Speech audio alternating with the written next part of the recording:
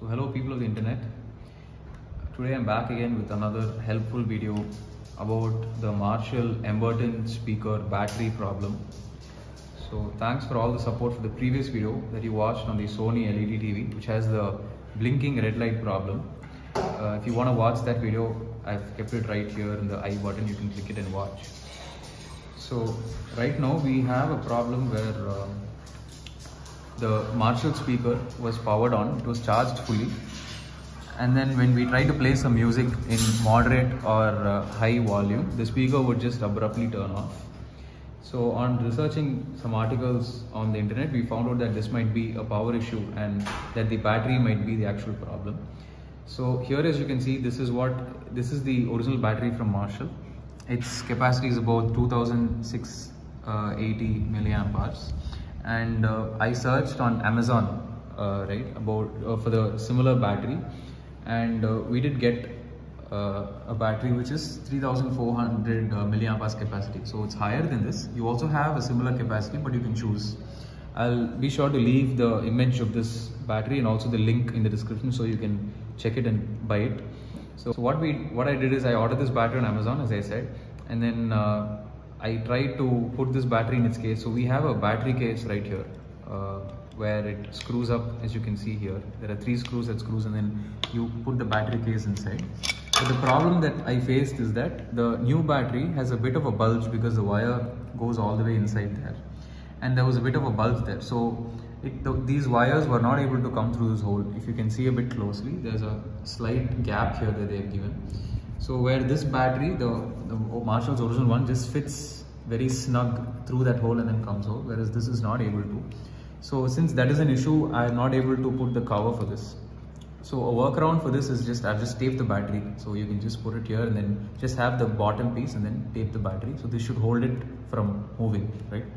So the first thing we're going to do is, um, as you can see the components here, the battery goes inside the case here. This is the battery. We have a left speaker here and as you can see here this is the motherboard of the speaker.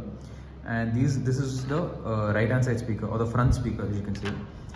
So we have two slots here one for the front and one for the back speaker to fit. And we also have a slot behind the motherboard where we the uh, battery connector fits as well as you can see.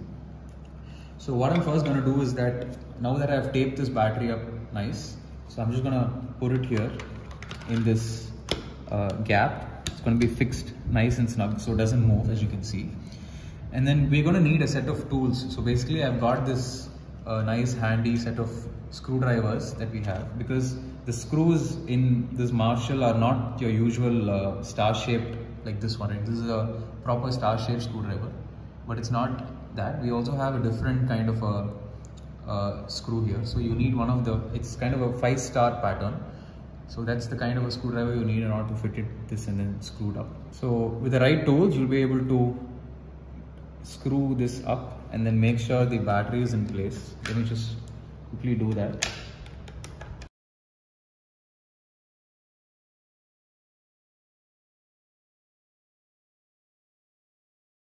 So the battery box is fixed pretty tight here. Next thing what we're going to do is that we're going to take the the motherboard and then underneath as you can see this battery connector basically connects right? It connects this way. And then you're just going to place the motherboard on top. So let me first do the connection. Just make sure that you're very careful so that the pin does not break and you're able to easily slide it in. So I'm just going to do that try doing that right now. And make sure it's in the right direction. The hole is here. So you'll have to put the pin very carefully inside like this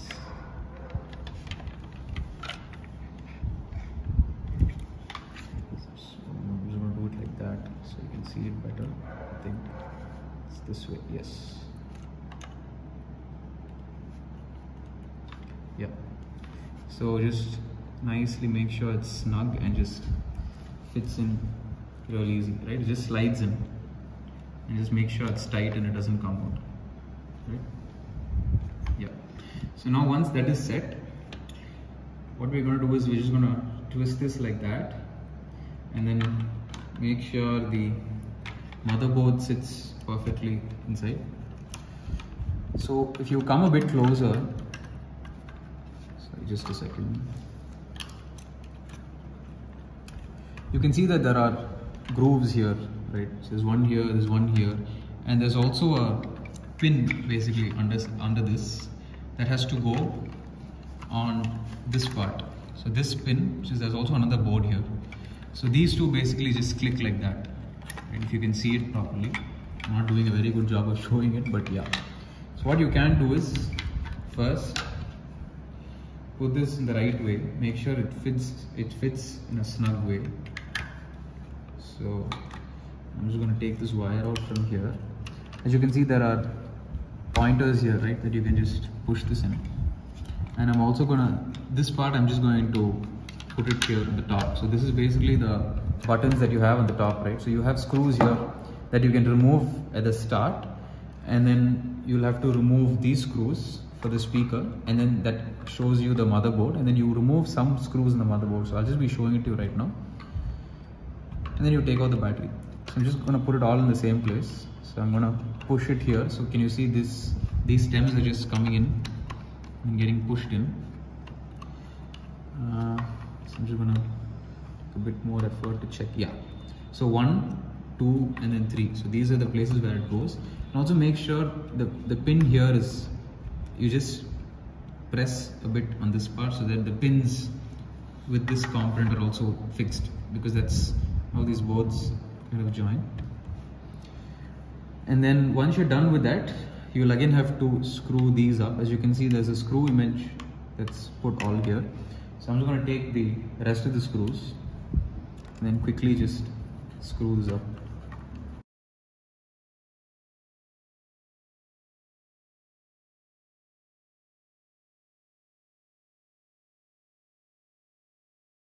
So now what I'm going to do is I'm going to, so this connector for the front speaker is already connected. It's the same clip type, you just have to push it in. Similarly for the rear, I'm just going to push this in as well. Yeah.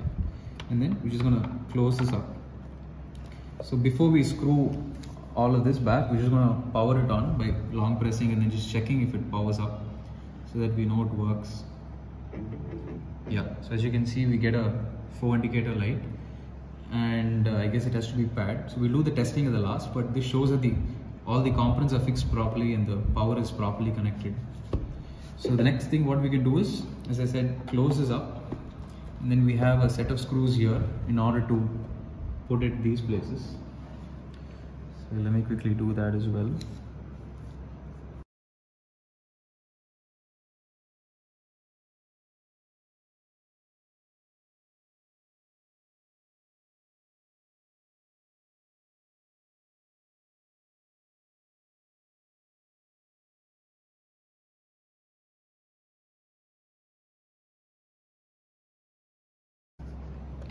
So once you set all these screws the last uh, we also have okay let me just turn this off.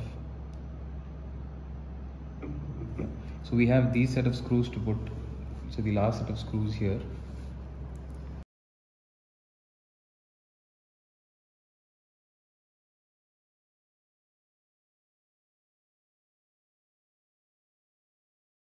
Okay. So once these screws are put we have two more steps the last so we'll have to put the the marshall uh, these cages the, the speaker cage one on the front one on the back. So how do you know which comes at the front? So the one with the logo has to come where the light indicators to the right of you right? So this is how it looks. So all you have to do is just push it in and then there is a nice foam padding here. Just slowly push it in on all sides. It just clicks very neatly and the same thing goes about here. So you don't even have to open the back side even though there are screws you don't have to do it.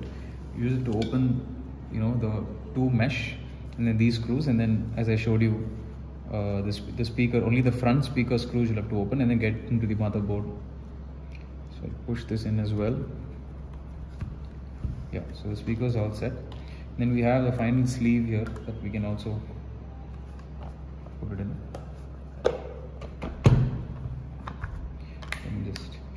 ensure it just click and then ensure it fits in a smooth way.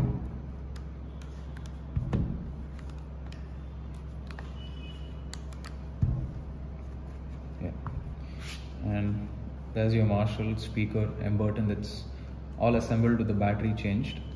So let's just test this and see if the speaker uh, you know uh, plays good music. So I'm just turning it on With chakra based meditation,